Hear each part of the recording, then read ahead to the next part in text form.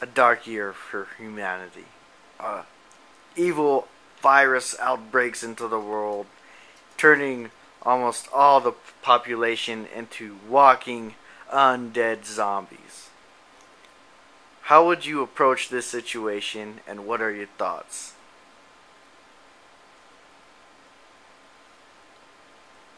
Uh, sounds pretty much like the movie we just watched.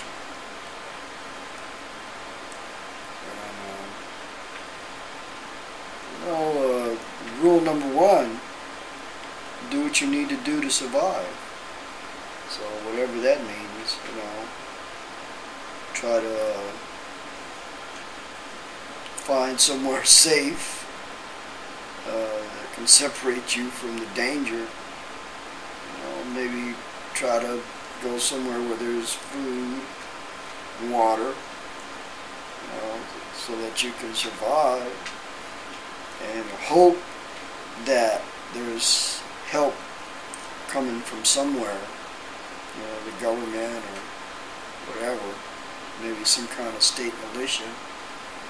But I'm sure that I'm not the only survivor.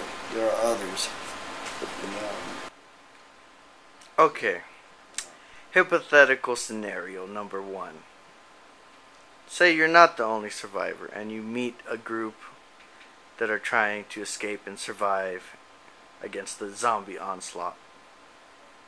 You find a little child that's recently been bitten by one zombie before you kill off the zombie or he runs away and the child is there. Do you pick up the child and bring her to safety? What do you do? Well, assuming that once uh, once you've been exposed to the virus, you're going to contract it. There's nothing that's going to stop you from becoming a full-blown infected person or whatever. You gotta do what you have to do. You, you can't keep it or have it around you. Number one, you might get infected. Know, they're already gone. Forget about it. You can't save them. But you can get infected yourself, so you gotta just do what's necessary. What would be the best location to stave off a zombie assault? Zombie assault. Well, you want to make sure that you uh, have protection. Number one, you need protection. Firearms, whatever. So you want to pick somewhere that's going to um, have something available for you to use that, so that you can protect yourself. That may not be your final destination, but you want to make that a point, you know, of, of uh, you know, at least along the way, stopping off to get supplies that you need, you know, batteries, flashlights, water, firearms, whatever.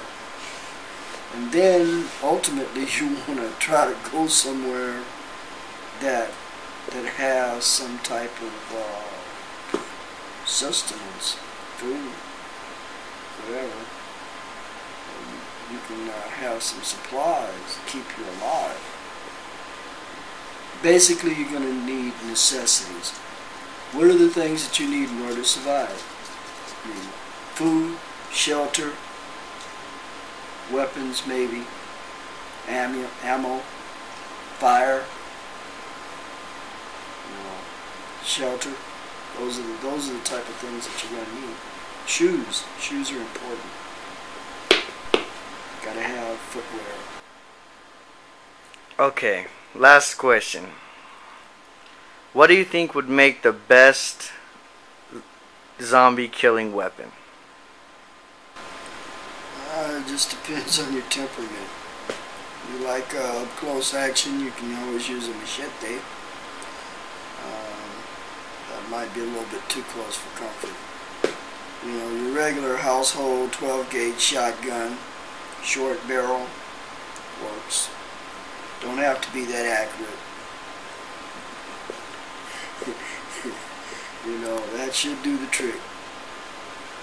And, uh, you know, handguns maybe, I don't know. It depends on how well you are versed at shooting handling firearms. But for sure, you gotta have the shotgun. Oh, one last question. How much longer do we have left until the zombie apocalypse hits? And 2025. Take the plunge.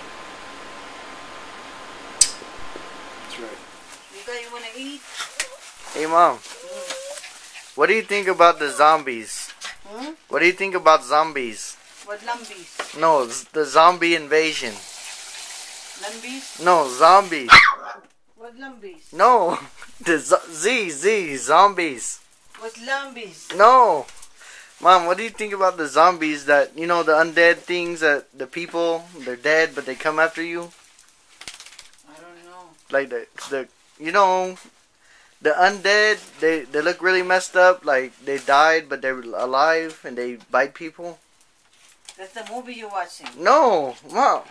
No, I'm saying, what if it was real and there were zombies? What, what do you, what would you do? I hide him inside the cabinet. Huh? You hide, you hide? Yeah. Okay. Is there anything else you do? Well, if I don't want to come out, I'm gonna come out when when when there's nobody around. But if I come out and instead of hiding and waiting for me, I, I want to use my power. My power, is my pa- fire, fire power. Okay. What what happens if the zombies t- uh, attack your dogs? I'm gonna kill him.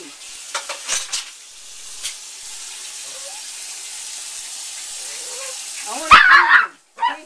It's my Jenny. Jenny.